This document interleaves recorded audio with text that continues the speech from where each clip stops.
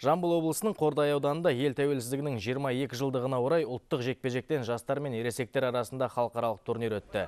Жарысқа жерлестерімізбен қатар көрші Қырғызстан мен Өзбекстаннан келген білекті де жүректі жігіттер қатысып, сұсты 8 бұрышта өзара шеберлік байқасты. Алғаш болып өз өнерін ортаға салған 17 жастағы жеткіншектер арасында Ержан Айсаев пен Еркін Дәрмен айрықша көзге түсті. Ересектер бәсекесінде Берікқазы Бекішев Өзбекстандық Айбек Омаровты қосымша раундта жойқын соққысымен нокаутқа жіберді. Аса ауыр салмақта Игорь Свирит пен Аманжол Турабаев өз қарсыластарын таза жеңіп, жерлестері алдында үлкен абырой мен қошеметке ие болды.